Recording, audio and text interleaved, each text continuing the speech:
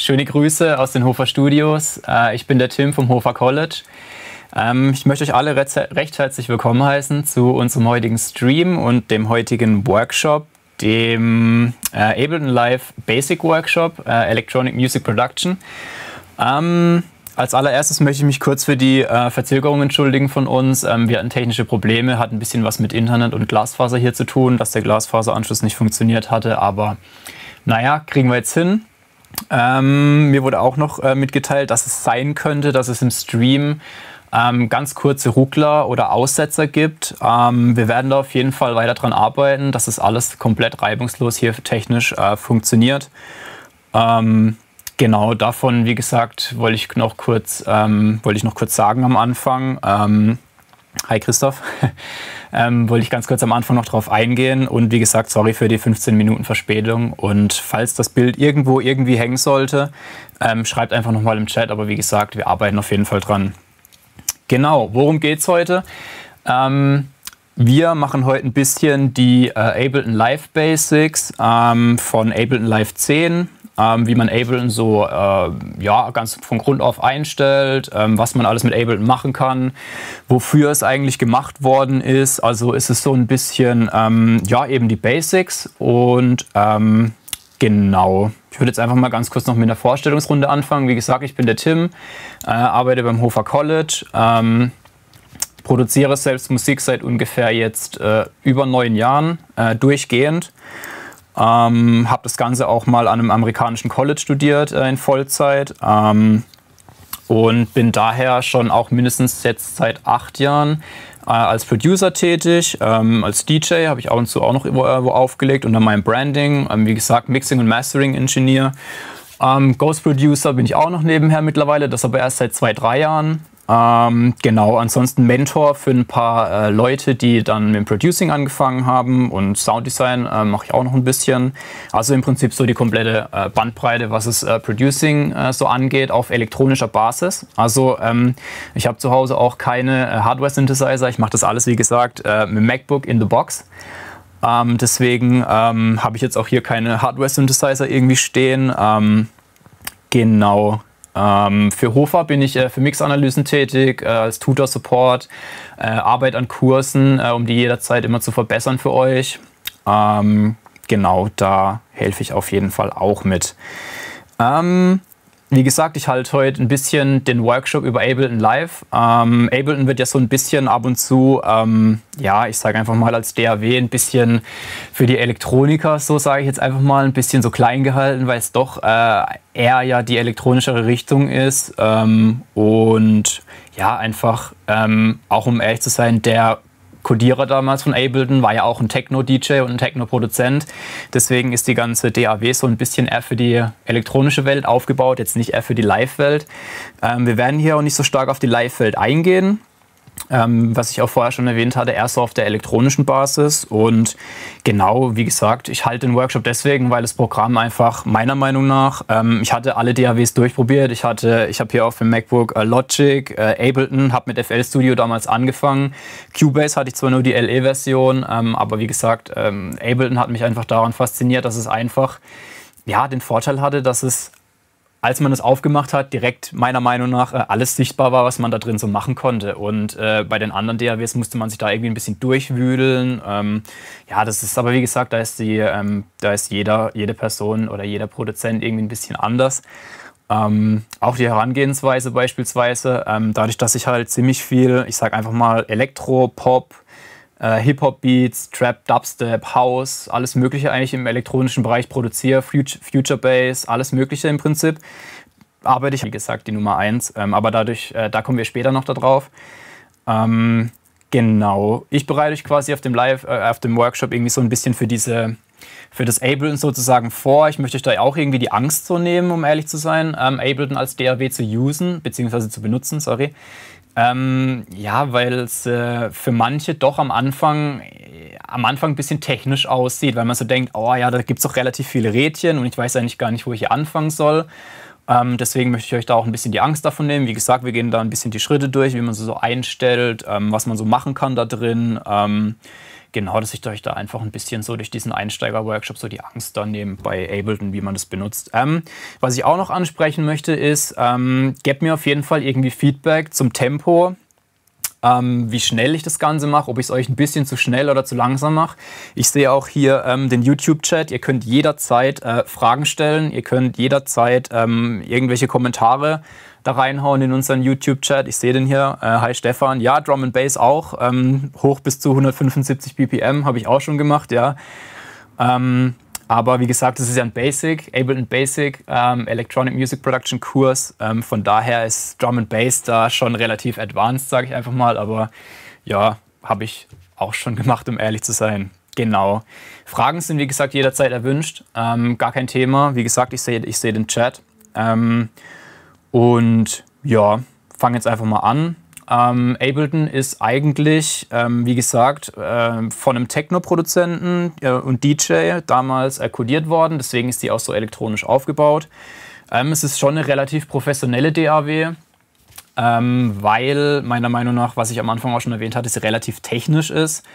Ähm, und es eben ja super professionell ist. Also auch wenn ich gerade mal irgendwie ein paar äh, Namen nennen kann, beispielsweise Skrillex oder Flume, ähm, Robin Schulz zum Beispiel, weiß ich von allen drei safe, dass die auch alle Ableton zum Produzieren benutzen. Ähm, genau, also da gibt es in der elektronischen Musikwelt eigentlich ziemlich viele Größen, die das auch für Sounddesign usen, äh, beziehungsweise benutzen, sorry. Und ähm, ja, wie gesagt, es ist eine sehr, sehr, sehr verbreitete DAW, weil sie halt Vorteile hat, die ich später auch, auf die ich später auch noch eingehen werde. Sie hat aber auch ein paar Nachteile, um ehrlich zu sein. Ähm, darauf werde ich auf jeden Fall auch noch äh, eingehen. Das ist so, ich erkläre noch ganz kurz das Programm jetzt so, so ein bisschen. Ähm, es ist beliebt für die elektronische Musik. Ähm, genau, hat den Ruf eben äh, meiner Meinung nach, das ist, was ich schon gesagt hatte, von Producer zu Producer äh, äh abhängig. Ähm, dass sie sehr übersichtlich ist, war, war sie zumindest meiner Meinung nach, als ich sie aufgemacht hatte. Okay, da sind die Spuren, da kann ich eine Spur einfügen, da kann ich lauter leiser machen, da kann ich ein Sample einfügen. Los geht's. Ähm, Okay, ja, wie gesagt, sorry Leute, wenn es irgendwie ruckelt oder so, das liegt leider an unserem Glasfaseranschluss hier, der funktioniert leider nicht, deswegen gehen wir über die hauseigene Leitung. Wir probieren da unser Bestes, wie gesagt, unsere Techniker sind auch da dran und nochmal sorry dafür, ähm, falls es irgendwie ein bisschen ruckelt. Ähm, wir tun unser Bestes auf jeden Fall hier, dass es für euch ruckelfrei funktioniert. Ähm, genau, der Vorteil an Ableton ist auch, dass sie unter macOS und Windows läuft. Es gibt ja auch manche DAWs immer noch, die nicht unter beidem laufen beispielsweise Logic, ähm, läuft ja im Moment nur noch auf macOS. Ähm, ja, wie gesagt, sorry Leute, wenn es irgendwie ruckelt. Wir probieren unser Bestes. Ähm, genau. Wir waren bei macOS und Windows. Logic beispielsweise läuft nur unter macOS, ähm, läuft unter Windows noch nicht. Ähm, bei Cubase bin ich mir ehrlich gesagt im Moment gerade gar nicht sicher, weil ich es selber überhaupt nicht benutze. Aber Cubase müsste meiner, meines Wissens nach eine reine Windows-DAW sein. Genau. Ähm, was eben der Riesenvorteil noch an Ableton ist, sie ist, Ableton ist mega kreativ. Es gibt so viele Sounddesign äh, da drin. Das heißt, die Plugins, die schon mit Ableton mitkommen, sind so mega, ich sage einfach mal, technisch vielseitig einsetzbar. Da kann man die wahnsinnigsten Sounds rausholen. Ähm, also was da manchmal ich in Ableton selbst mache, ist ab und zu, wenn ich irgendwie an einem Rädchen drehe, wo ich vorher auch schon noch nie gedreht hatte, ähm, kommen, da, kommen da manchmal Sounds raus, wo ich mir so denke, so, wow, okay, Wahnsinn, hatte ich bis jetzt auch noch nicht. Ähm, Genau, ähm, es wendet sich allerdings ein bisschen so von diesem analogen Signalfluss ab. Ähm, werden wir dann auch später in der Mixeransicht sehen, wo ich dann noch ein bisschen genauer drauf eingehen werde.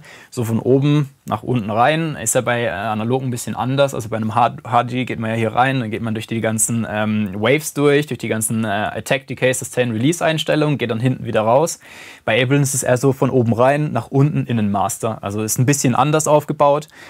Ähm, genau das sind so die generellen Infos eigentlich so zu Ableton, was ich jetzt äh, vorher noch ganz kurz so erwähnen wollte. Ähm, ja, dann, ähm, wie gesagt, Fragen könnt ihr jederzeit reinhauen. Ich fange jetzt einfach mal an, äh, Ableton aufzumachen.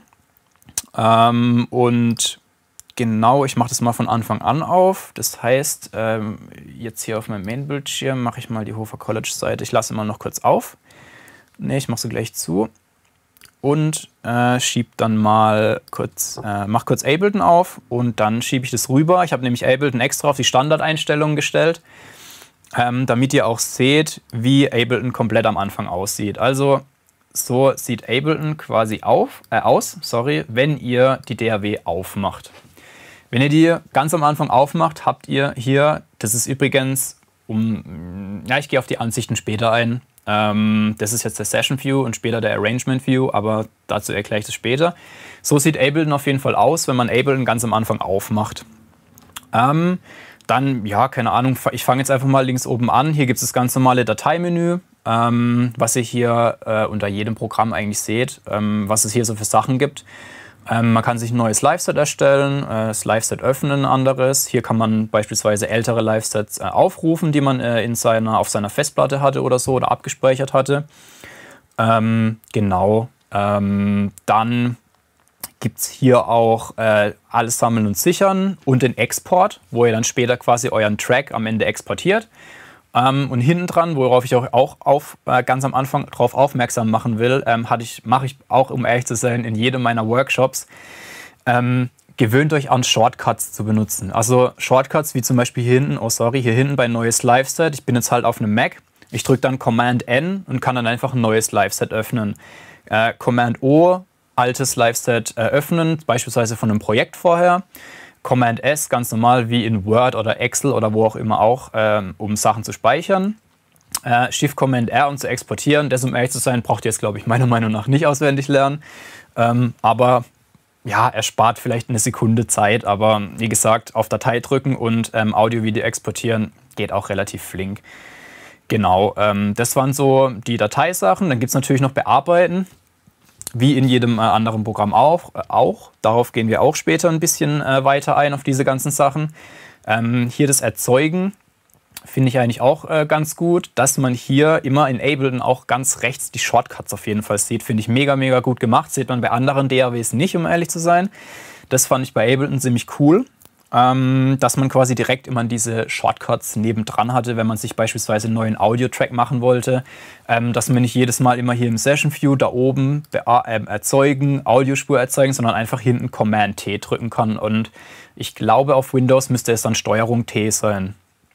Also wie gesagt, ähm, lernt auf jeden Fall diese Shortcuts. Es erspart euch dann auch später mega, mega viel Zeit, ähm, wenn ihr das alles auswendig könnt. Also da, ich use in, in Ableton beispielsweise meine, äh, Able, äh, meine Apple-Maus relativ oft, weil mit der, mit der kann man halt ähm, touchmäßig von links nach rechts später hin und her swipen. Das zeige ich euch später auch noch. Eine normale Maus ist auch gar kein Thema. Ähm, aber das hat natürlich auch schon einen Vorteil, dass man einfach schneller arbeiten kann. Wie gesagt, dieses schnelle Arbeiten. Ähm, ich lege da ziemlich viel Wert drauf, egal ob man irgendwie Beginner-Producer ist oder Advanced Producer. Es ist mega, mega wichtig, die Zeit irgendwie auch effizient heutzutage für seine DAW zu benutzen. Nicht nur, wenn man es hobbymäßig macht, sondern natürlich auch, wenn man es professionell macht, weil ja, so wie es halt heutzutage äh, ist, äh, Zeit ist Geld. Ähm, deswegen ja, es, und es soll auch Spaß machen. Also man sollte auch relativ schnell die Sachen, was man hier drin hat, ähm, in eine DAW reinbekommen, weil darum geht es ja eigentlich. Es schwirrt ja meistens eine Melodie im Kopf rum und wie bekomme ich die am schnellsten in eine DAW rein? Wenn ich da Shortcuts kenne, ähm, erspart, um ehrlich zu sein, mega, mega viel Zeit. Genau, ähm, was äh, auf jeden Fall am Anfang ich euch auch noch zeigen möchte, ähm, ist die Ansichten. Es gibt andere Ansichten von Ableton. Und zwar gibt es hier, wo wir jetzt gerade drin sind, wenn ihr Ableton ganz normal öffnet, den Session View. Session View heißt, alle Spuren sind von oben nach unten ähm, vertikal angezeigt. Ähm, die ganzen MIDI, die zwei, die zwei ganzen MIDI-Spuren, die wir hier haben und die zwei Audio-Tracks, die sind alle senkrecht angezeigt. Und so ist auch der Signalfluss. Das heißt, das Signal kommt von hier oben, von diesen Clips, beziehungsweise von einem Slot, wo man dann einen Clip einfügen kann, geht er hier runter in den Mixer. Man kann natürlich auch noch einstellen, ähm, wenn hier ein Synthi drin ist, ähm, woher die MIDI kommen soll, zeige ich euch später dann auch noch. Ähm, beispielsweise, wenn man ein Keyboard angeschlossen hat per USB, dass man das dann als MIDI-Trigger benutzt. das Monitoring, dass man nur das einkommende Signal hört, dass man Ableton hat eine automatische Funktion, dass man das äh, einkommende Signal und das Signal auf den Ohren hört. Und dann kann man natürlich noch beides ausstellen. Das heißt, dass in dem Channel quasi einfach nichts ankommt. Das heißt einfach, der Channel ist sozusagen off, beziehungsweise das Monitoring von dem Channel ist off. Ist jetzt was anderes, wie wenn man den Channel dann hier unten bei der 1, das übrigens die Spurnummerierung ist, Ähm, wenn man die hier ein- und ausschaltet, dann schaltet man den kompletten Channel ab. Das ist auch relativ wichtig später. Das sieht dann im Arrangement View, den wir uns dann später angucken, ein bisschen anders aus. Das sieht das Ganze dann ähm, horizontal aus. Das heißt so, im Moment sind wir ja gerade im Session View, das ist dann vertikal. Ähm, genau, da sieht man dann die Sachen quasi dann von links nach rechts, anstatt von oben nach unten. Ähm, das Ganze sieht dann quasi bei einem Audio-Track noch ein bisschen anders aus. Ähm, wir kommen dann hier später auch noch zu den Send-Channels. Die sind dann hier hinten. Hier ist jetzt ähm, standardmäßig ein Reverb und ein Delay drin. Das ist bei Ableton einfach immer so. Ähm, und der letzte Channel ist dann der Master Channel, ähm, wo dann die ganzen, die ganzen einzelnen Channel, wenn sie durch die Inserts bzw. durch die Return Tracks durchgehen, auf dem Master Channel dann sozusagen alle eintreffen. Ähm, genau. Das ist so mal ganz kurz äh, der Session View erklärt. Ähm, ja, das. Ich gehe noch ganz kurz nochmal auf die Ansichten. Ähm, hier ist eigentlich äh, relativ cool, dass man auch Ableton in einem zweiten Fenster launchen kann. Ähm, ihr seht jetzt quasi im Moment nur meinen einen Bildschirm. Ähm, da der, das ja von meinem MacBook ausgeht, könnte ich jetzt das so machen, dass man quasi mit Tab in den Arrangement View wechselt und diesen Arrangement View rein theoretisch auf das MacBook hier machen könnte und den Session View auf den Bildschirm oder umgekehrt. Wenn man quasi zu Hause, was heute eigentlich relativ üblich ist, dass man zwei Monitore hat, kann man quasi auf seinen Main-Bildschirm, so wie der, der jetzt vor mir ist, ähm, den Arrangement View hinmachen, weil man hier eben drin am meisten arbeitet in Ableton. Da editiert man, ähm, da cuttet man, da macht man, ich zumindest, immer lauter und leiser. Ähm, mixt da, fügt da Plugins ein und so weiter und so fort. Und in Session View, also den wieder mit Tab, hier kann man dann hier unten in der Lautstärke-Einstellung beziehungsweise in der Spur Lautstärke dann die Spuren einfach äh, die Lautstärke hier einstellen. Funktioniert aber im Arrangement View hier drüben genau gleich.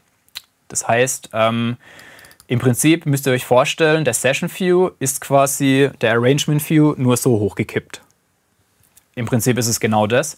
Man kann, wie gesagt, das mit Ansicht in zwei verschiedene Ansichten splitten, dass man sich eben ein zweites Fenster macht und das dann auf den zweiten Bildschirm macht und ähm, so beide Monitore nutzen kann, ohne dass man immer mit Tab hin und her switchen muss, weil es braucht ja dann auch ein bisschen Zeit, bis man hier hin und her geswitcht ist. Ähm, zwischen Tab und dem, äh, dem jetzt Session View und dem Arrangement View.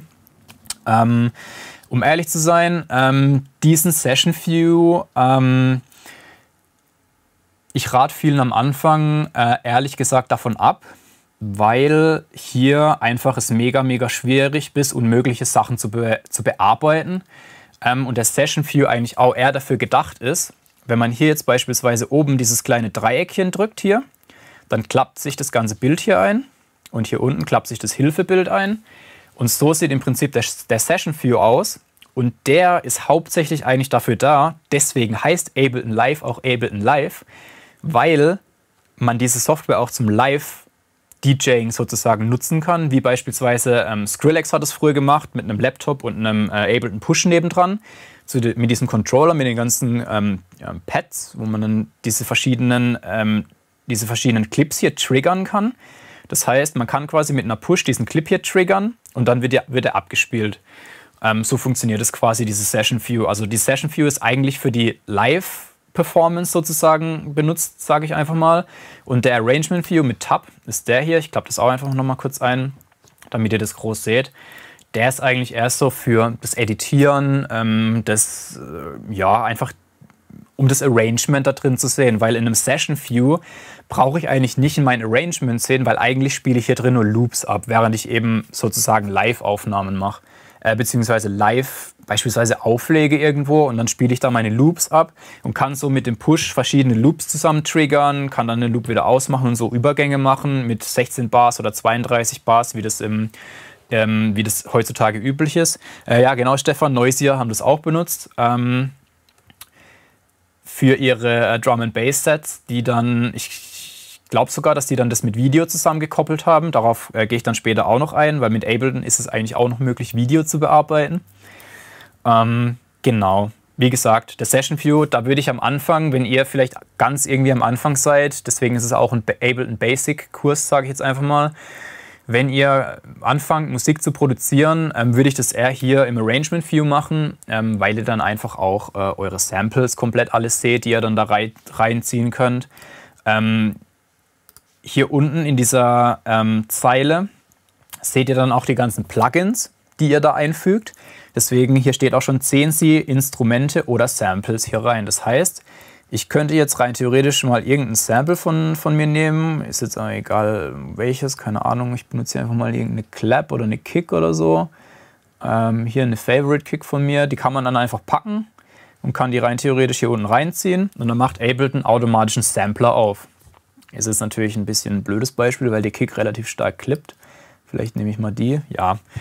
Ähm, wenn ihr die Kick da, rein, da reinpackt, macht ihr automatisch einen Ableton-Sampler auf, mit dem ihr dann automatisch ähm, direkt mal mit eurem Keyboard die Kick abspielen könnt. Also wenn ich jetzt beispielsweise auf meinem Keyboard A drücke ähm, und hier noch den, den Recording-Schalter, nee, das hier. Wenn ich hier den Recording-Schalter ähm, in Ableton anmache und dann jetzt A drücke, dann kann ich quasi die Kick triggern.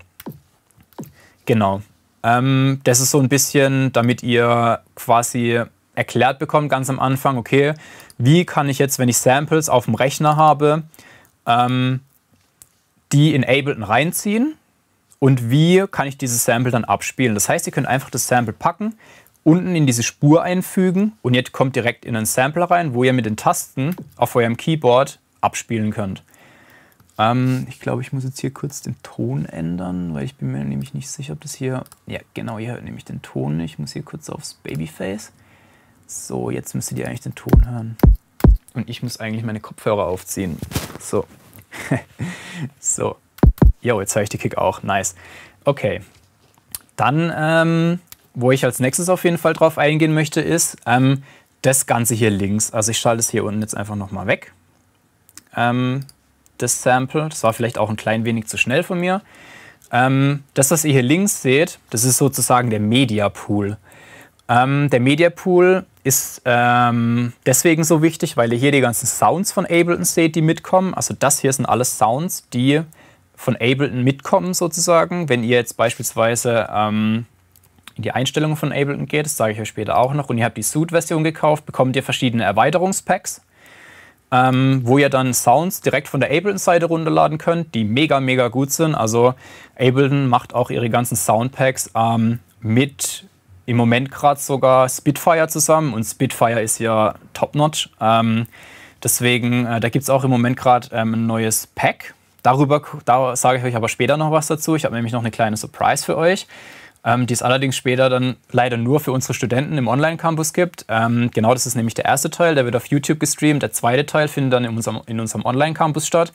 Und ähm, im zweiten Teil kriegt ihr dann noch ein kleines Easter Egg von mir. Ähm, das sage ich euch aber dann später, was es ist. Da ähm, freue ich mich auch selber ziemlich drauf. Ähm, genau, ich sage euch dann auch mal kurz zwischendurch, was es vielleicht sein könnte. Aber egal. Ähm, da kommen wir später auf jeden Fall dazu. Ähm, wo waren wir stehen geblieben? Beim Media Pool, genau. In diesen Kategorien, in diesem Media Pool gibt es ja eben Sounds, die schon von Ableton mitkommen. Dann gibt es hier Drums.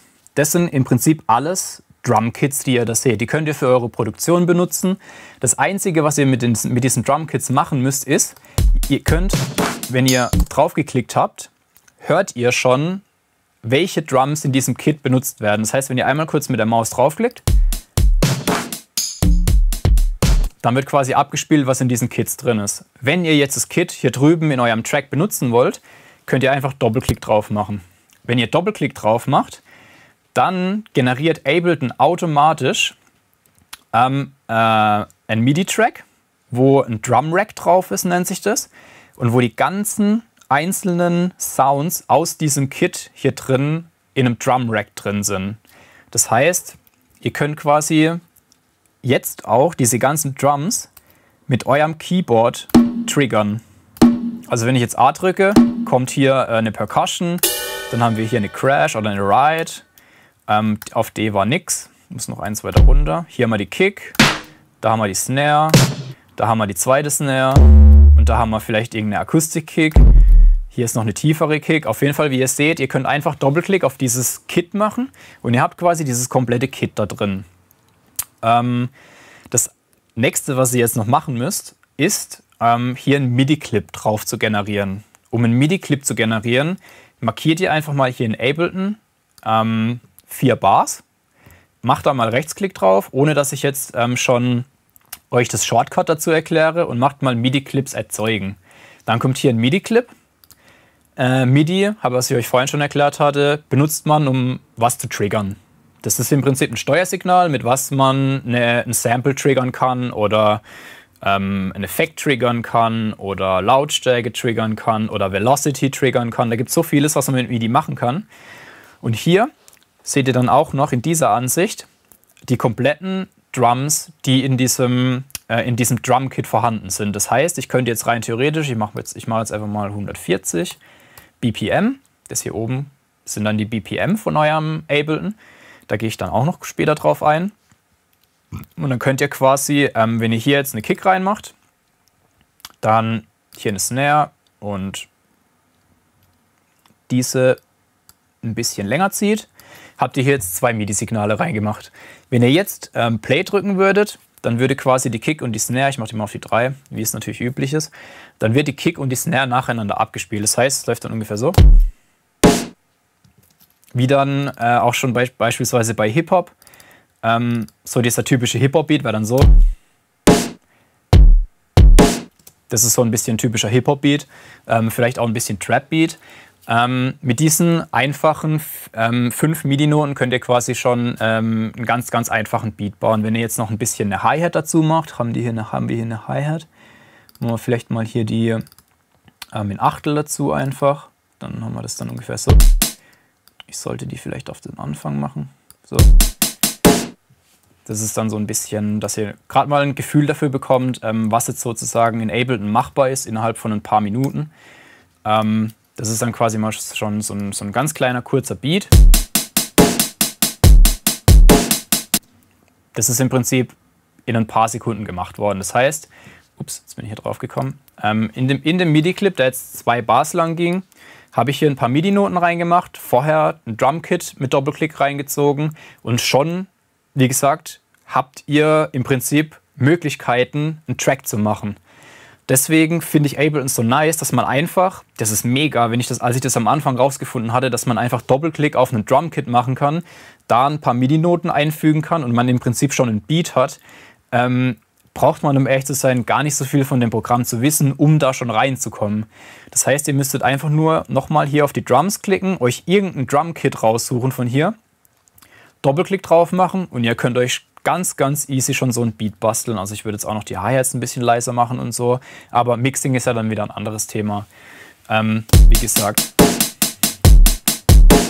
so einfach war es, äh, ein Beat äh, in zu machen. Also es hat meiner Meinung nach keine drei Minuten gedauert, bis es, äh, bis es dann bei einem Beat schon war. Genau. Das ist so ein bisschen äh, der Drums und der Sound-Pool äh, am Anfang erklärt. Ich mache das jetzt mal wieder weg. Mache mir aber einen neuen Audio-Track. Ähm, das nächste sind dann Instrumente. Ähm, das heißt, Ableton kommt auch mit ein paar Instrumenten, mit äh, Analog-Instrumenten. Also es sind im Prinzip nicht Analog-Instrumente, sondern Analog-emulierte Instrumente. Das heißt, die Sounds sind analogen Instrumenten sozusagen nachgebaut. Und wenn ihr hier in diese Untermenüs reingeht von Analog und beispielsweise mal Bass aufmacht, könnt ihr hier mit einem Klick auf die Maus schon mal die Sachen vorher anhören.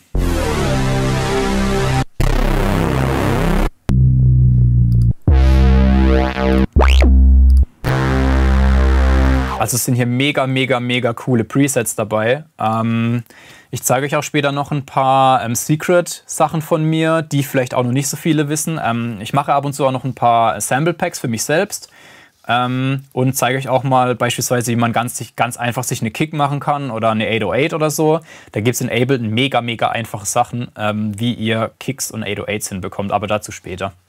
Ähm, wie gesagt, hier im Analog sind die ganzen eher so analogeren Instrumente, äh, Pads, Strings, Synthleads. Also die Strings hören sich auch richtig nice an, finde ich.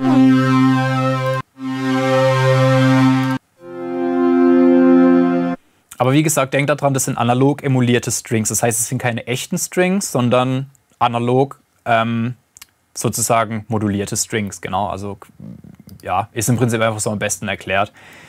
Ähm, Collusion ist im Prinzip genau das gleiche, es sind auch ein paar, ähm, einfach ein paar Presets, wo ihr coole ähm, äh, Sachen drin habt. Um sowas zu benutzen beispielsweise, genau das gleiche wie beim Drum Rack. Wenn ihr jetzt diesen Ton hier benutzen wollt, diesen hier, einfach nur Doppelklick, Ableton macht euch einen, einen neuen MIDI-Channel auf und ihr könnt direkt Preset benutzen. Also so einfach ist es im Prinzip. Ähm, einfach nur sich den coolen, das coole Preset raussuchen, was ihr vielleicht gerade, worauf ihr vielleicht Bock hattet. Und ihr könnt schon mit eurer Tastatur ähm, coole Baselines bauen, um ehrlich zu sein. Das ist mega, mega easy gemacht bei Ableton, finde ich. Also top. Also deswegen finde ich es auch, um ehrlich zu sein, so das ist die beste DAW. Hier gibt es natürlich auch noch dann verschiedene und mehrere ähm, Unterordner, ähm, unter die ihr euch alle mal durchwühlen könnt. Drum Racks. Ähm, das ist hier so ein Vocal Rack, was ich mir mal selber erstellt hatte, aber dazu kommen wir auch später, wie man sich so Sachen selbst erstellt. Ähm, genau, ein Instrument Rack, ähm, wo man dann noch mehrere äh, Remakes hat. Hier habe ich ein paar, ähm, paar nachgemachte Sachen sozusagen. Ich habe hier ein Closer Remake von diesem Lead-Plug von, äh, von den Chainsmokers gemacht oder so. Äh, Meloda Strings, die werden gefühlt in jedem House-Track benutzt, wenn ich euch die später mal zeigen würde. Ihr kennt diese Dinger aus jedem ja, okay, nicht aus jedem, aber aus 90% aller House-Tracks, die da draußen äh, unterwegs sind, von egal welchen Produzenten. Ähm, genau, da könnt ihr euch einfach mal hier durchwühlen. Ähm, Im Prinzip, äh, der Operator ist auch noch ein äh, Synthesizer. Hier ist quasi ähm, auch noch möglich, sich ganz einfache Töne zu machen. Ähm, mit äh, Sine Waves und allem drum und dran.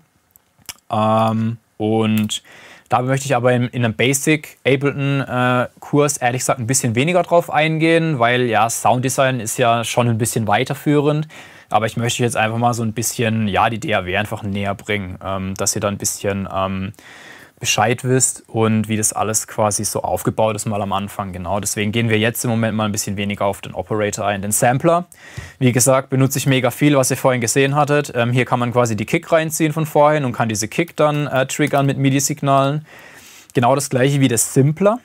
Der Sampler und der Simpler machen im Prinzip das gleiche, sind aber unterschiedlich. Der Sampler hat ein paar mehr Funktionen, wo man dann auch einen Pitch äh, dazuschalten kann mit Frequency Modulation. Aber wie gesagt, ähm, es ist auf jeden Fall äh, ein bisschen diese Frequency Modulation und alles drum und dran ist alles für ein bisschen später. Da sind wir jetzt gerade ein kleines bisschen zu, ja, das ist einfach ein Basic-Einsteiger-Workshop, um euch mal ein bisschen so Ableton näher zu bringen. Genau. Der Simpler ist im Prinzip genau das gleiche, nur halt eben ein bisschen einfacher. Und ihr seht schon hier, er hat ein bisschen weniger Controls, hat aber auch ein paar versteckte Controls, ähm, die ich euch später auch noch zeigen werde, was relativ cool sind. Ähm, wie ihr zum Beispiel ganz einfach mit einem Wert Hi-Hats pannen könnt, wie ihr die Hi-Hats random von links nach rechts bekommen könnt. Da müsst ihr ein Rädchen drehen. Das heißt, ihr müsst weder eine Automation machen hier drin, noch müsst ihr irgendein extra Plugin reinladen, wo ihr dann eine Kurve automatisiert, dass die dann von links nach rechts geht, sondern es ist einfach nur ein Rädchen. Ähm, ist halt eben in der, beispielsweise in der Hip-Hop- und Beat-Welt ähm, sehr oft gesehen, dass man Hi-Hats pannt. Ab und zu vielleicht mal auch äh, Vocal Shots, diese, wenn man die dann so ein bisschen links-rechts pannt. Ähm, bringt immer eine coole Tension, also eine coole, ja, ein, ein cooles Bild zum Track, einen sehr uniken, äh, einen sehr uniken Style, finde ich. Ähm, und genau, der Wavetable Synthesizer, was ich euch jetzt auch noch ganz kurz zeigen möchte, ist im Prinzip ein Synthesizer, der bei äh, Ableton 10 rausgekommen ist. Den gab es bei 9 noch nicht. Ähm, hier seht ihr auch schon die vier ganz normalen Kurven: Sine Wave, Triangle Wave, ähm, Sawtooth Wave und Square Wave. Also Sinuskurve, ähm, Triangelkurve, Sägezahnkurve und Rechteckskurve, also ja, Rechteckskurve oder Square Wave heißt sie ja eigentlich. Ähm, genau, das ist im Prinzip ein ganz einfacher ähm, VST-Synthi von Ableton, ein integrierter, wo ihr hier ganz einfach auch Töne euch selbst machen könnt. Ähm, relativ easy. Ähm, ja, aber da gehen wir auch nicht so stark drauf ein, weil, wie gesagt, immer noch ist es noch ein ganz kleiner ähm, Basic-Anfang und ich möchte euch erst so ein bisschen die, ja, die Übersicht einfach zeigen. Jetzt kommt meiner Meinung nach das Wichtigste in Ableton. Äh, das sind die Audio-Effekte. Ähm, die macht Ableton meiner Meinung nach besser als, ja, ist jetzt blöd gesagt von mir, weil ich halt schon ewig Ableton benutze und so, aber es macht sie meiner Meinung nach in dem Bereich, in dem ich sie benutze, das ist ja von Person zu Person beziehungsweise von Producer zu Producer unterschiedlich, in dem Bereich, in dem sie ich nutze, ist sie die beste einfach. Also gerade elektronische Musik, heutzutage diese Pop-Sachen, die alle in den Charts drin sind, ähm, eben diese Dubstep, Trap, ähm, House, House-Geschichten. Ähm, Ableton hat dafür einfach die eingebauten, perfekten Effekte dafür, um die speziellen Sounds, die man heutzutage macht, auch sofort hinzubekommen. ohne irgendwelche externen VST-Plugins zu installieren. Ähm, also ja, da ist Ableton meiner Meinung nach halt ja, die beste DAW, ähm, um, wie gesagt, für meine Sachen, die ich mache, da ist ja nochmal jede Person anders, ist sie halt einfach die beste. Ja, genau. Und wie gesagt, hier gibt es auch ganz, ganz viele verschiedene, da gehen wir später auch noch ein bisschen mehr drauf ein. Ähm, als nächstes haben wir die MIDI-Effekte. Da könnt ihr beispielsweise eine Arpeggio ganz einfach generieren. Wenn ihr jetzt äh, beispielsweise einen Synthi nehmt, ähm, könnt ihr vor den Synthes sogar einen Arpeggiator vorne dran schalten und dann könnt ihr quasi mit einer Taste, ihr seht jetzt hier hinten dran an diesen Balken, die hier hochgehen, wenn ich jetzt A drücke, A ist übrigens die Note C auf dem Keyboard, wenn ich das hier drücke einmal, dann seht ihr hier hinten, wie der Arpeggiator schon ähm, in Achtelnoten den Sound ausgibt. Und ihr seht, ich halte, ich halte C gedrückt. Das heißt, ihr müsstet eigentlich nur noch eine MIDI-Note einfügen und ihr könntet eine Arpeggio bauen. Also wie gesagt, das geht in Ableton alles so schnell. Ihr müsst ja gar nicht die ganze Zeit A, D, G, H, A, D, G, H drücken sozusagen, sondern ihr könnt A gedrückt halten und der Arpeggiator macht es in eurer Reihenfolge, wie ihr es haben wollt. Ja, da ist halt einfach Ableton meiner Meinung nach mega, mega, ja, nicht vor, doch schon voraus weil viele andere DAWs es, glaube ich, nicht haben. Also Logic, weiß ich meine, meines Wissens nach, hat auch einen Arpeggiator. Aber die anderen, da muss man sich schon seine Arpeggio selbst bauen. Und im Prinzip, was ich auch ganz vorhin schon gesagt hatte, Zeit ist ja irgendwo auch ein bisschen Geld. Deswegen sollte man auch ein bisschen, ja, einfach wirtschaftlich in Ableton arbeiten können, sage ich einfach, genau. Ähm, ansonsten würde ich einfach hier bei den MIDI-Effekten jetzt für die Basic-Sachen auf keinen mehr eingehen, vielleicht noch auf den Scale. Das ist eigentlich ganz cool, wenn man ganz am Anfang, ich sag mal, ein bisschen weniger Ahnung von Musiktheorie hat, könnte man sich hier einen Scale raussuchen. Das heißt, man macht einfach Scale auf und sucht sich hier mal den C-Scale raus. Und wenn ihr den habt, braucht ihr im Prinzip gar nichts mehr denken, sondern könnt euch einfach einen MIDI-Clip erstellen mit ein paar Noten drin und der, ähm, und der Scaler sozusagen, also dieser Scale von Ableton, der schiebt dann die Noten in die richtigen, in, den, in die richtigen Parts sozusagen rein, welche harmonisch zueinander sind. Macht auch wieder ein paar Sachen einfacher. Ähm, ihr seht schon hier Bass, ihr könnt hier quasi immer die Note ändern. C, CGs, D, DGs, E, F und so weiter und so fort. Ihr seht dann auch, wie sich die schwarzen Viereckchen ein bisschen verändern. Ähm, das heißt dann quasi, welche Tasten vom Keyboard getriggert werden und welche nicht. Ähm, genau, das ist einfach auch noch ein bisschen eine Starthilfe für Leute, die vielleicht ein bisschen mehr mit Harmonien machen wollen, aber vielleicht jetzt noch gar nicht wissen, welches was irgendwo zu was dazu passt. Also ähm, da noch ein kurzes Beispiel. Ich kenne Producer, die haben zig Millionen ähm, Spotify-Streams, YouTube-Streams, whatever, die haben keine Ahnung von Musiktheorie und machen genau sowas. Ähm, wie gesagt, äh, das ist aber auch nur, äh, das ist ein relativ seltenes Beispiel, aber es gibt die da draußen auf jeden Fall, die keine Ahnung von Musiktheorie haben und Millionen von Spotify-Streams haben, das glaubt ihr gar nicht. Genau, dann gibt es noch Max for Life. Max for Life ist im Prinzip, äh, bei Ableton 9 war das noch ein extra Programm. Im Prinzip kann man bei Max for Life ähm, selbst programmierte äh, Plugins von Drittherstellern sich installieren ähm, und kann diese beispielsweise in den Produktionen auch benutzen. Also hier gibt es zum Beispiel auch den Color Limiter, den ich ab und zu äh, früher auch schon benutzt hatte. Ist ein mega cooler Limiter, weil der dann auch noch ein bisschen Saturation dazu drehen kann. Ähm, ja, das ist einfach so Max for Life. Das sind so sehr, sehr, sehr, sehr spezielle Effekte. Ich kann beispielsweise einfach mal äh, einen Granulator aufmachen. Also ihr seht hier jetzt da, da nicht viel davon. Ähm, und der macht aber relativ viel im Hintergrund. Also das ist wirklich advanced, meiner Meinung nach. Also Max for Life würde ich euch nur raten, wenn ihr wirklich schon ein bisschen advanced in Ableton drin seid. Ähm, ich habe mir da hier so ein paar Sachen markiert, wo ich auch noch drauf eingehen möchte. Hier habe ich mir so ein, ähm, sozusagen eine Sammlung ähm, eingestellt, ähm, wo ich euch auf jeden Fall auch ganz am Anfang dazu raten kann, damit ihr schneller eure Effekte findet. Weil ihr braucht jedes Mal Zeit, wenn ihr Command F drückt, und dann einen Equalizer sucht. Wenn ihr dann EQ eingebt, dann müsst ihr hier noch Doppelklick drauf machen, bis sich dann der originale Ableton EQ hier unten mal öffnet. Das hat jetzt insgesamt 8 bis 10 Sekunden gedauert. Warum soll ich mir dann nicht einfach hier ein EQ-Fenster machen mit der Farbe Gelb? Also, seht, also könnt ihr jetzt nachvollziehen, wie schnell das jetzt dauert. EQ, EQ8.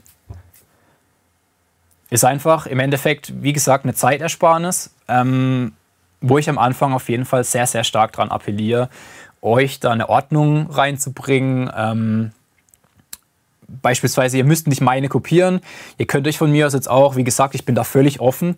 Äh, ich gebe auch alle meine Tipps frei raus. Wenn ihr irgendwelche Tipps braucht, ähm, gar kein Thema. Ihr könnt sie auch hier in den YouTube-Chat reinschreiben. Alles gar kein Ding. Ich sage euch die alle. Überhaupt kein Thema. Ich habe gar keine Geheimnisse. Ich möchte auch gar keine haben, weil es macht eigentlich einfach einen kredibiler, wenn man irgendwie seine ganzen Geheimnisse freigibt als Producer. Viele sagen ja, oh ja, das ist mein Secret, weil das ist mein Sound. Nee, so bin ich im ehrlich sein nicht. Ich sage euch alles. Also wie gesagt, das ist alles gar kein Thema.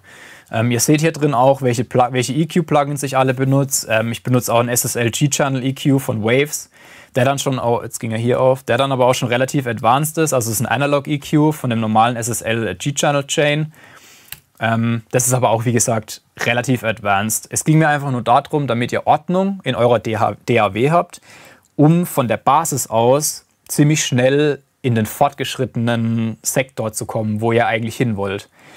Ähm, und da probiere ich euch eben einfach Tipps zu geben, wie ihr das am schnellsten sozusagen machen könnt.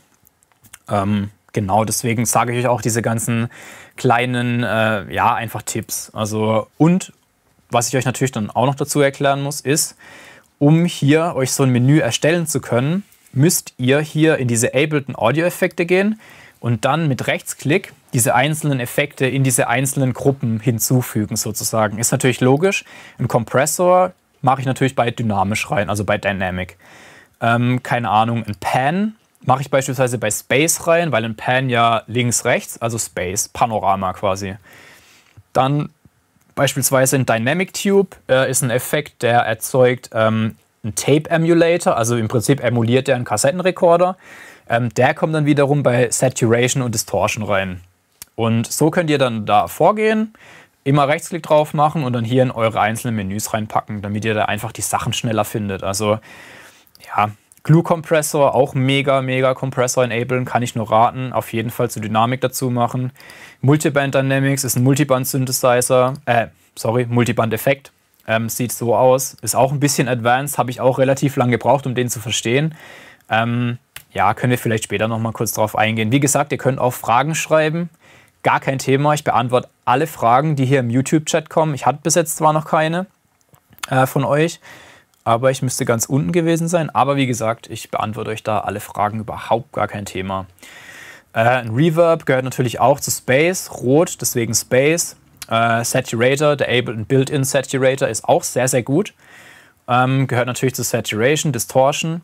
Ähm, ansonsten die restlichen, die ihr hier drin halt seht, das sind alles äh, Third-Party VST. Also das heißt VSTs, die ich installiert habe. Ähm, Valhalla Room ist ja auch relativ stark verbreitet heutzutage, ähm, was ein cooles Reverb-Plugin ist.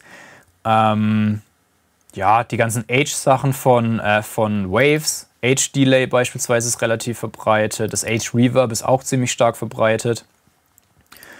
Ähm, das Vintage-Verb von Valhalla ist auch sehr, sehr stark verbreitet. Also wie gesagt, ihr könnt euch von mir aus auch, ist alles gar kein Thema, euch von hier irgendwie einen Screenshot machen, wenn ihr irgendwelche neuen Plugins kennen wollt, rausfinden wollt. Ich habe jetzt extra den Hofer IQ Reverb nicht aufgemacht, weil ähm, ich auf meinem Rechner schon den neuen Hofer IQ Series Reverb installiert hatte, weil wir den ja als Mitarbeiter sozusagen zum Testen bekommen. Deswegen zeige ich ihn euch jetzt erstmal nicht, weil ich weiß nicht, ob ich den zeigen darf. Ähm, deswegen zeige ich euch aber lieber, ja, wenn wir jetzt bei Dynamics sind, äh, wo ist er denn? Äh, Habe ich den hier gar nicht reingemacht? Okay, fataler Fehler. äh, vielleicht mal den De-Esser. Ähm, ja, das sind einfach äh, Plugins von uns, von Hofer, die mega, mega gut sind. Wie gesagt, ich benutze die auch selber. Ähm, wir haben da bombastische Plugins. Also, ähm, wie gesagt, ähm, ihr bekommt die auch zum Kurs dazu. Da möchte ich dann auch noch später auf die Aktion hinweisen, die wir noch im Moment haben. Aber jetzt machen wir erst noch kurz die Sachen hier fertig äh, mit den einzelnen Menüs.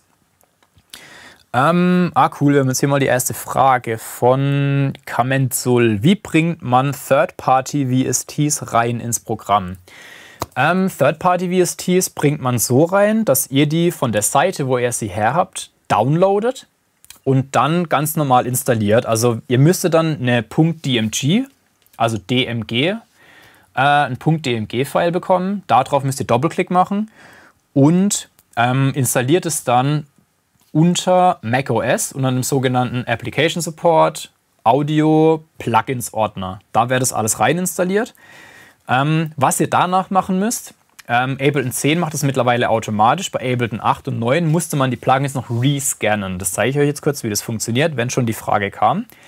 Ihr geht in die Einstellungen rein, das ist Command, Komma oder Shortcut war Command, Komma oder ihr macht Datei, nein, falsch, ihr macht Live, Voreinstellungen auf. Hier seht ihr auch Command, Komma. Die Voreinstellungen auf, danach geht ihr hier auf Plugins, auf diesen Reiter Plugins und macht hier Noise Scan. Wenn ihr jetzt den Noise Scan macht, gibt es zwei Möglichkeiten. Ich mache den jetzt nicht, weil ich glaube ich insgesamt 300 VST-Plugins auf meinem Rechner habe. Deswegen mache ich jetzt keinen Noise Scan. Es kann ja sein, dass das ab und zu vielleicht mal abstürzt. Ähm, wenn ihr normal Noise Scan drückt, dann scannt er nur die letzten installierten VST-Plugins. Wenn ihr aber Option und Option gedrückt haltet und Noise Scan drückt, dann scannt Ableton nochmal euren kompletten Rechner nach VSTs ab. Das heißt, es wird nochmal jeder Ordner, in dem ein VST sein könnte, durchgescannt und geschaut, ob da einer da ist. Wenn der dann erkannt worden ist, dann taucht der hier in Plugins auf. Da wäre ich dann nämlich als nächstes dazu gekommen nach Max for Life. Dann klickt ihr hier auf Plugins und dann habt ihr hier die VST-Section. Wenn ich jetzt die VST-Section aufmache, ihr seht schon bei mir, yo, mega viele, ähm, könnt ihr jetzt, wenn ihr die Hofer-Plugins installiert habt, ähm, Hofer einfach aufmachen und wenn ihr den Analyzer installiert habt, den Analyzer aufmachen.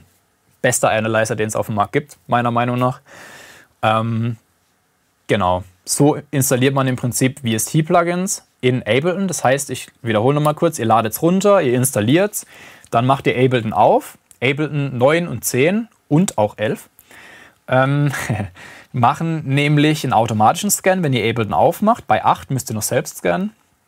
Ähm, und zwar geht ihr dann nochmal in die Voreinstellungen rein und macht hier einfach neu Scan. Wenn der Plugin nicht gefunden wird, dann, wie gesagt, was ich euch vorhin gesagt hatte, Option gedrückt halten, neu Scan drücken. Kann aber dann 10 Minuten dauern. Ihr könnt euch dann Kaffee holen, kurz auf Toilette gehen, kurz was anderes machen, kurz im Internet irgendein Tutorial angucken von uns oder kurz in den Online-Campus reingucken ähm, und, es mal, ähm, und es mal scannen lassen. Das dauert nämlich ein bisschen. Genau. So, dann habe ich euch auch erklärt, wie ein VST-Plugin installiert wird. Auch sehr, sehr gute Frage. Äh, da wäre ich nämlich auch noch dazu gekommen. Das steht hier nämlich auch noch auf meinem Guide, den ich so ein bisschen geschrieben habe für euch, ähm, für den Kurs, was ich euch so alles erklären möchte. Ähm, wo wir hier noch als, als letztes dazu kommen, ist hier unten sozusagen im Media Pool die Pack-Section. Ich, ich nenne sie einfach auch mal ein bisschen Media Pool. Ähm, hier findet ihr auch die ganzen Packs, die es von Ableton gibt. Also, wenn ihr Ableton Suit kauft, Suite oder Suit. Suit ist eigentlich der Anzug, also Suite. Ähm, dann findet ihr hier auch String Packs zum Beispiel, ähm, die ihr dann alle von Ableton von der Seite aus herunterladen könnt. Das Einzige, was ihr dafür machen müsst, ist auf die verfügbaren Packs gehen und dann seht ihr hier die Packs, die ihr noch nicht habt. Und dann könnt ihr einfach hier, weil euer Ableton ja gekauft und registriert ist auf ableton.com, einfach hier Download drücken und automatisch werden die Retro-Synths heruntergeladen und automatisch installiert. Kommt darauf an, was ihr für eine Leitung habt. 3,4 Gigabyte. Wenn ich jetzt die Glasfaserleitung hier benutzen würde, ähm, 30 Sekunden und ich könnte die, Plug ich könnte die Retro-Sounds quasi schon benutzen. Mega, mega nice. Also da müsst ihr auch nicht wieder extern aus dem Programm raus, was installieren, wieder zurückkommen. Es kann Fehler auftreten. Nee, alle Sounds, die ihr bei Ableton Suite ähm, bekommt, müsst ihr einfach nur hier Download drücken, fertig, benutzbar.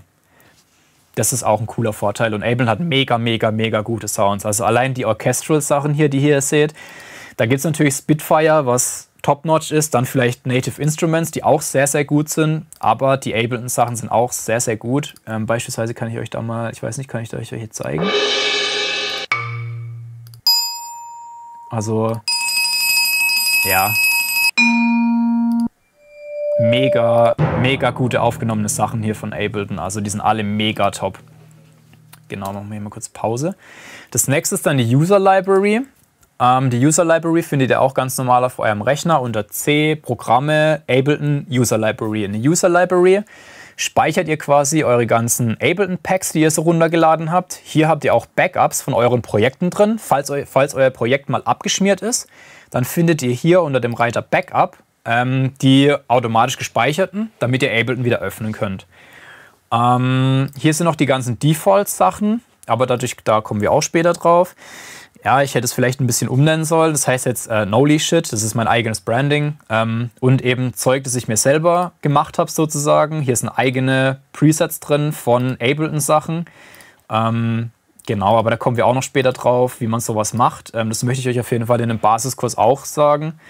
Ähm, wie man richtig Sidechain, eine coole Sidechain, ähm, ein Haas-Effekt und sowas. Ähm, die verschiedenen Grooves, die es gibt, die gibt es dann später im Groove Pool, den zeige ich euch auch noch, der ist hier. Ähm, ist aber auch ein relativ advancedes Future.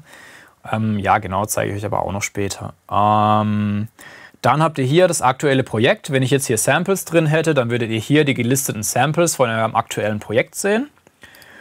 Um, MySamples ist im Prinzip meine Sample Library, die ich mir mal äh, komplett zusammengekauft habe oder von irgendwelchen Internetseiten for free gegen einen Austausch von einer E-Mail-Adresse runtergeladen habe. Also wie gesagt, ähm, die Festplatte hier, die ich jetzt hier ähm, angeschlossen habe, ähm, von dieser Festplatte gab es vier Vorgängermodelle. Ähm, das heißt, da sind immer noch die Samples drauf von vor neun Jahren, mit denen ich angefangen hatte. Deswegen wundert euch bitte nicht, warum das so eine lange Sample-Liste ist mit Sample Packs. Aber ähm, sie ist einfach inner, jetzt, jetzt mit innerhalb von neun Jahren auf, boah, keine Ahnung, 2,5 Terabyte, glaube ich, äh, angestiegen. Aber Speichert euch auf jeden Fall Samples. Auf so vielen Internetseiten gibt es freie Samples zur Verfügung. Ähm, achtet da auf jeden Fall auf die Lizenzen drauf, wie ihr die benutzen dürft. Steht alles nochmal in einem Sample Pack drin, ähm, wie ihr die benutzen dürft, genau.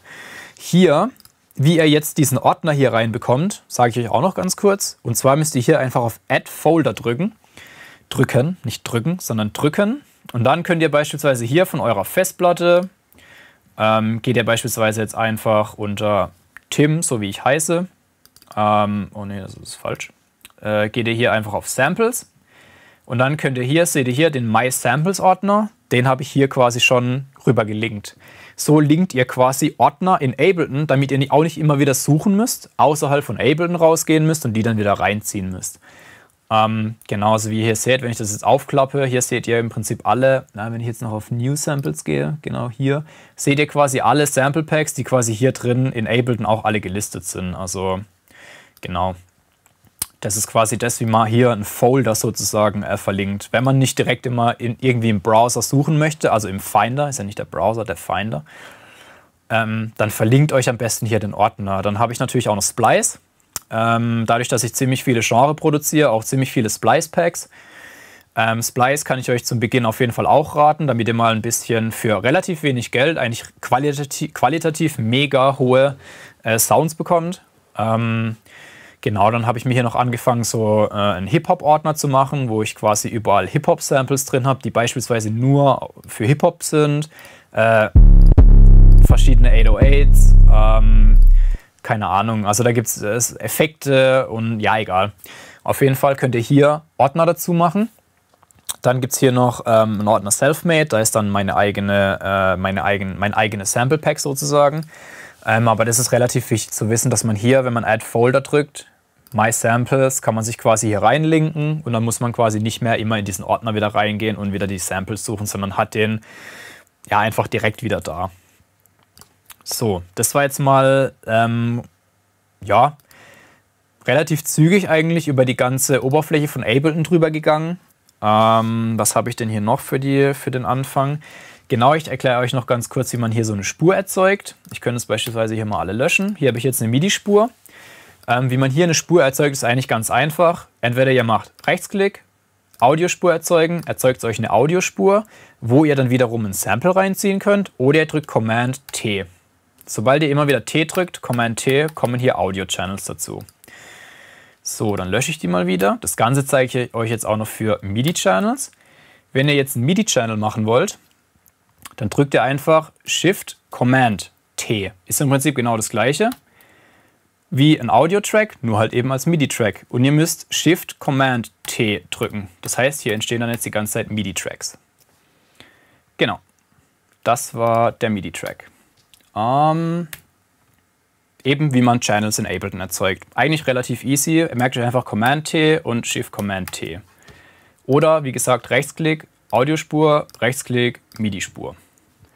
Also ich habe das am Anfang noch mit Rechtsklick gemacht, aber wie gesagt, sobald ihr ähm, Sobald ihr Tastenkombinationen raus habt, äh, kommt ihr da auf jeden Fall in euren Workflow rein. Da macht ihr kurz Command T, zieht ein Sample rein, könnt das Sample direkt bearbeiten. Also mega, mega cool. Genau. Dann als nächstes ähm, zeige ich euch noch kurz die Return Tracks. Da weiß ich jetzt nicht, ob mein Bild da ist. Dann mache ich das mal kurz ein bisschen kleiner. Return Tracks sind hier unten. Hier ist quasi ein Reverb und ein Delay drin. Da könnt ihr MIDI und auch Audio reinschicken. Ähm, und zwar funktioniert es so, wenn ihr jetzt einen Audiokanal aufmacht, dann seht ihr hier unten diese zwei Infinite. Infinite heißt unendlich. Ähm, das heißt, das Signal wird gar nicht in den Channel hier unten reingesendet. Das heißt, ihr könnt jetzt beispielsweise eure Drumgruppe nehmen und in eure Drumgruppe komplett das gleiche Reverb benutzen. Das heißt, wenn hier jetzt äh, eine Drum, wenn ich jetzt hier äh, Kick, Snare und Hi-Hat habe, kann ich die alle markieren und dann Command und G drücken und eine Gruppe draus machen.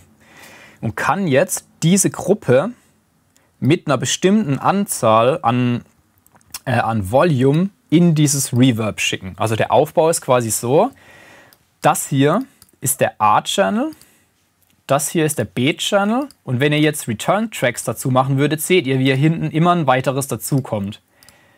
Also ihr könntet auch, ich weiß um ehrlich zu sein gar nicht, wie viele man dazu machen kann, aber es könnte relativ viel werden. Also genau, da wird Ableton auch schon kleiner dann. Ähm, auf jeden Fall seht ihr dann, wenn ihr das hier größer macht, wie viele Infinites es hier dann gibt. Und in jeden einzelnen Return-Channel könnt ihr andere Effekte reinmachen. Delay, Reverb, äh, Saturator, ähm, egal was könnt ihr da eigentlich reinmachen. Genau. Deswegen ähm, ist es eigentlich relativ cool äh, zu wissen, wie man Return-Tracks macht. Ähm, das habe ich euch auch gezeigt.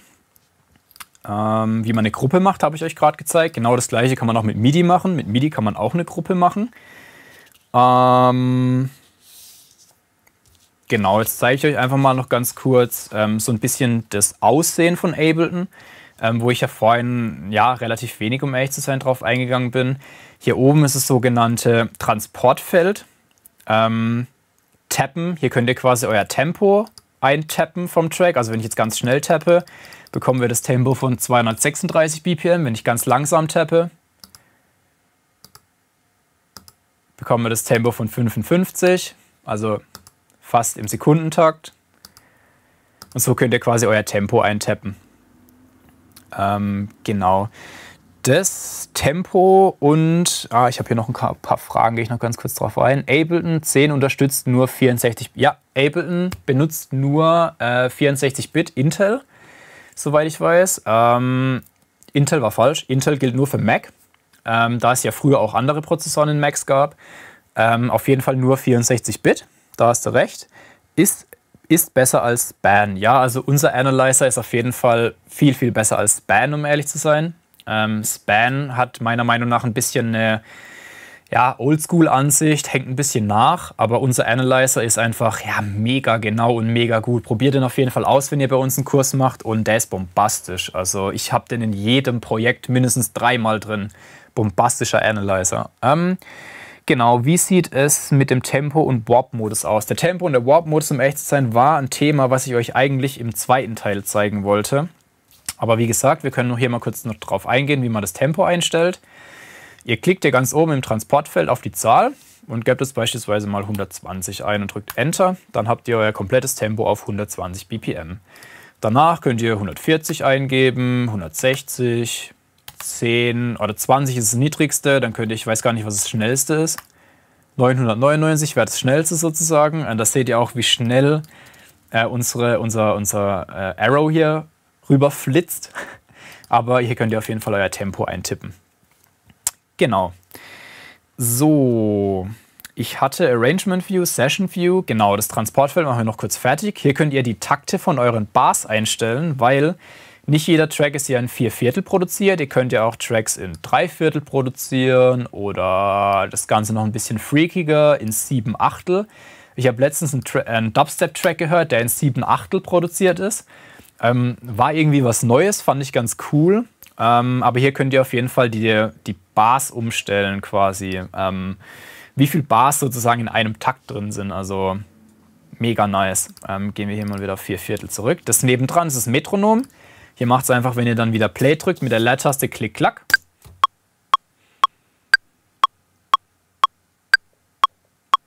Und immer wenn der hohe Takt kommt, ist es die 1.1, also der Start von der Bar.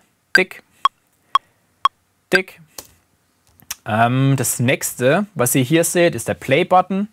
Hier könnt ihr einfach Play drücken mit der Maus. Hier ist der Stop-Button. Wenn ihr nochmal Stop drückt, springt ihr ganz an den Anfang zurück. Der nächste Button ist der Kreis hier, das ist der Record-Button. Wenn wir jetzt hier auf einem MIDI-Track sind und wir recorden etwas, können wir hier Record drücken und dann können wir hier Chords einspielen. So zum Beispiel. Ich mache das jetzt mit der Hand und wir haben keinen Synthesizer drauf, aber hier seht ihr im Prinzip die Chords, jetzt, die ich eingespielt habe mit der Hand. Genau. Ähm, das funktioniert quasi mit dem Record-Button. Das nächste, hier ist der Automation Follow-Button. Das ist auch ein bisschen was, was ihr später braucht meiner Meinung nach. Ähm, das hier, hier stellt ihr die Automation zurück. Ähm, die anderen Sachen sind alle relativ, relativ stark advanced. Also das hat jetzt, ja, ist schwierig, das in einem Basic-Kurs, äh, in einem Ableton Basic-Kurs zu erklären. Aber hier seht ihr noch beispielsweise, wo ihr, was ihr gerade markiert habt, ähm, wie viele gerade markiert habt, wo ihr steht. Ähm, das hier ist die, wenn ihr Command L drückt, die Länge von eurem Loop. Ihr habt jetzt quasi in der 33. Bar einen Loop eingestellt, der vier Takte lang geht. Also so. Das heißt, wenn ihr jetzt hier quasi am Ende seid und die Loop-Funktion hier ist an, springt der direkt wieder hier an den Anfang zurück. So, das war noch kurz die Loop-Funktion erklärt. Ähm, Record Play, etc. Genau. Arrangement habe ich erklärt. Automatisieren erzähle ich auch noch ganz kurz ähm, wenn wir hier schon dabei sind, noch auf YouTube, ähm, Automation, kommt ihr hier in den Automationsmodus. Ist ein bisschen versteckt in Ableton. Wenn ihr den äh, MIDI ausschaltet von eurer Rechnertastatur, ist jetzt aus, kommt ihr auch mit A ins Automation Window. Aber passt hier auf jeden Fall auf, wenn, wenn der hier nämlich an ist, dann spielt ihr mit A die Note A, also die Note C. Das heißt, ihr kommt nicht rein und nicht raus. Ihr müsst immer das hier oben ausmachen, damit ihr hier, ihr seht in den Automation-Modus, rein und raus kommt. So funktioniert es quasi, genau. Ähm, und hier könnt ihr quasi einfach Punkte einsetzen, äh, hin und her automatisieren und so sieht es quasi aus. Ähm, wenn ihr irgendwelche Sachen an- und ausmachen wollt, wenn ihr Volume automatisieren wollt, könnt ihr hier quasi hoch und runter. Ähm, ist auch mega easy. Einfach hier ein paar Punkte rein. Dann seht ihr hier, wie rechts die, Automat die Volume automatisiert wird. Ähm, genau, das habe ich jetzt auch einfach mal ganz am Anfang hier äh, in den, in den YouTube-Part reingepackt, obwohl ich das eigentlich erst später zeigen wollte. Genau, die FX, äh, die Einstellungen habe ich euch auch gezeigt. Ähm, musikalisch läuft halt alles in 44,1 Kilohertz und Video in 48 Kilohertz. Ähm, bei Video möchte ich noch ganz kurz sagen, ähm, das Video seit Ableton 10 nur noch .mov funktioniert, also MOV, das Format. Falls ihr in Ableton auch irgendwie Video oder sowas bearbeiten wollt, .mov ist da das Go-To. Ähm, das auch noch vielleicht kurz in den Anfang rein. Ähm, Puffergröße, Buffer Size sind wir jetzt, um ehrlich gesagt zu sein, auch nicht drauf eingegangen. Das ist dann hier im Audio-Fenster. Ähm, hier seht ihr auch de, die Sample Rate, die man einstellen kann. Hier beim Babyface kann ich jetzt sogar bis 192k hoch, aber das ist meistens dann äh, Kino und Dolby Digital, äh, Dolby Digital Sound, also Surround, da müsst ihr gar nicht hin. Ähm, 44.1 ist äh, Industriestandard und ich habe einfach bei mir 512 Samples eingestellt, weil ich ja nichts live einspiele. Wenn ihr allerdings genügend Prozessor-Power habt, könnt ihr auch auf 256 gehen. Aber sobald ihr 5, 6 oder 12 Synthesizer reinladet, dann fängt euer CPU hier oben, der hier angezeigt wird, ist ziemlich stark an zu kratzen. Und dann fängt auch dieses Standard-Kratzgeräusch, dieses geht dann los. Ähm, wollen wir nicht. Deswegen äh, lasse ich das bei 512 immer. Äh, das ist ja auch ein i9 MacBook, also das sollte auf jeden Fall funktionieren mit meinen 120, 130 Spuren, das ist gar kein Thema. Funktioniert auch gut. Ähm, genau, das sind so die Standardeinstellungen. Wie gesagt, ähm, hier oben das Audio-Ausgangsgerät. Ich habe hier, wie gesagt, ein Babyface, RME Babyface Pro dran. Hier seht ihr dann euer Audio-Interface. Ups, jetzt habe ich natürlich ausgemacht. Äh, wenn ihr ein Eingangssignal habt, dann könnt ihr das auch noch aufs Babyface legen. Da wird jetzt quasi das Mikrofon, was ich hier habe, aufs Babyface gehen. Das machen wir jetzt allerdings nicht, weil dann äh, kein Ton mehr von, äh, von, von mir bei euch ankommt. Ähm, genau, das sind sozusagen die Audioeinstellungen. gehe ich nochmal hier ganz kurz. Ähm, die, die spezielleren Einstellungen machen wir auch noch später. Ähm, die Sounds im Media Pool hatte ich erklärt, das war für den Anfang. Den CPU hatte ich erklärt. Genau die Warp Modes, das machen wir später. Ähm, und beispielsweise auch, warum man ähm, hier bei Record 24-Bit einstellen sollte und nicht 32 oder 16. Ähm, 32 braucht man eh nicht einstellen, weil ähm, sobald ihr einen Equalizer von Ableton auf die Spur drauf macht, ähm, vergisst er die 8 Bits und ihr könnt eh nur in 24-Bit aufnehmen, aber wie gesagt, das ist dann schon wieder zu technisch. Ähm, jetzt habe ich hier noch ganz kurz eine Frage. Äh, hi Tim, wo hast du noch einmal raufgeklickt, um auch einen B-Channel Return zu bekommen? Ähm, um den zu bekommen, musst du hier rechts in dieses graue freie Fenster reingehen. Also hier, wo mein Mauszeiger ist und hier einfach Rechtsklick reinmachen. Dann kannst du sagen, ob du eine Audiospur willst, eine MIDI-Spur oder eine Return-Spur. Und dann klickst du einfach hier drauf. Jetzt habt ihr es natürlich nicht gesehen. Hier unten rechts kommt dann eine Return-Spur dazu. Einfach Rechtsklick in dieses graue Fenster hier rein, Return-Spur. Und dann kommt hier eine Return-Spur dazu. So könnt ihr das machen. Genau. Ähm, und hast du eine Meinung zu Ableton Live 11 von der Wiebke? Ja, Wiebke, das ist nämlich, wir sind jetzt, glaube ich, glaube ich, auch demnächst äh, äh, am Ende beim YouTube-Stream. Äh, ähm, das ist genau das, worauf, was quasi noch mein Easter Egg war, was ich ganz am Anfang gesagt hatte. Ähm, Ableton gibt ja nur ganz am Anfang eine bestimmte Anzahl an Beta-Tests raus. Ähm, ich habe hab ehrlich gesagt meinen gestern Nacht bekommen, um halb eins sogar noch. Und ähm, wir werden dann auch später im Online-Campus dann die letzte Viertelstunde nochmal uns Ableton 11 angucken. Ähm, was das so neu kann. Ich habe da gestern noch ein bisschen drin rumgeklickt und so. Mega nice. Es ist auf jeden Fall jetzt Comping dabei für die Leute, die wissen, was es ist. Ähm, MPE-Einstellungen bzw. Ähm, Benutzung ist dabei. Viele neue Effekte sind dabei. Also ich kann nur sagen, äh, was Ableton da wieder gebaut hat, finde ich persönlich als elektronischer Producer mega, mega, mega top. Nice. Äh, Freue mich da auch schon übelst drauf, äh, um ehrlich zu sein. Ähm, genau, das war eben so mein Easter Egg, wo wir da später noch ein bisschen drauf eingehen werden. Die letzte Viertelstunde, 20 Minuten werde ich dann Ableton 11 aufmachen, ähm, damit ihr das mal seht, wie das aussieht. Wird aber, wie gesagt, dann im Online-Campus äh, laufen. Und ähm, genau, von meiner Seite aus war es das jetzt eigentlich. Ich liebe das MP. Ja, ich finde es auch mega. Ähm, genau, ich gehe jetzt mal am ganz kurz, ganz am Ende. Ich weiß nicht, ob wir das dann auch noch kurz einzeigen in einem äh, Overlay äh, auf unsere Aktion drauf ein, denn äh, wir am Hofer College haben ja auch gerade im Moment noch eine Aktion mit Native Instruments, mit NI. Äh, wenn ihr bei uns den äh, Diplomakurs macht, dann bekommt ihr ähm, Native Instruments Complete 13 Ultimate, was insgesamt 800 Gigabyte Samples und Instrumente und Effekte sind, for free zu eurem Diplomakurs dazu. Ähm, mega, mega, mega Sample Library, also 800 Gigabyte ist abnormal viel. Also ich habe sogar, glaube ich, gerade noch so 800 GB auf meiner Festplatte frei. Ähm, ich habe hab NI ehrlich gesagt nicht. Ähm, hat aber auch einen anderen Grund, warum ich das nicht habe, aber ist ja auch egal. Ähm, und genau, das bekommt ihr zu unserem äh, größten Kurs, dem Diploma dazu. Und ähm, genau, das war jetzt äh, der erste Teil in YouTube. Ähm, ich hoffe, es hat euch gefallen. Ähm, ich bin, um ehrlich zu sein, vielleicht ein bisschen über vieles zu arg drüber gerusht, also war vielleicht ein bisschen zu schnell. Ich hatte jetzt im Chat das Gefühl, dass ihr eigentlich gut mitgekommen seid, was ich hier so erzähle. Ähm, aber ich wollte einfach, äh, wie gesagt, so viel Informationen, wie es nur geht, ähm, in diesen Basic-Kurs äh, direkt äh, in YouTube reinpacken, damit ihr auch mega viel Informationen einfach am Anfang bekommt ähm, wie man sich Ableton einzustellen hat mit diesen Farben an der Seite, was es für Effekte für den Anfang gibt, wie man sich ein Sample reinzieht, wie man Audio-Track macht. Ähm, genau, dass ihr das einfach von Anfang an ähm, wisst. Und genau, deswegen ähm, bedanke ich mich bei euch, ähm, dass ihr schon mal auf YouTube ähm, eingeschaltet habt. Wie gesagt, der zweite Teil geht dann in unserem Online-Campus weiter.